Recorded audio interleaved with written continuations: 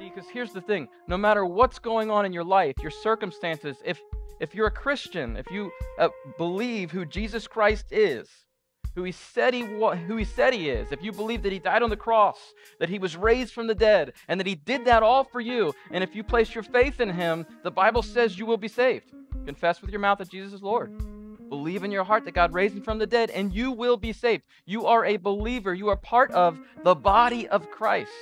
And see, because we're part of the body of Christ, we have to remember to focus on the Christ of the body, right? We have to remember to maintain our focus on Jesus Christ and what he's called us to, no matter what we're getting hit with left and right.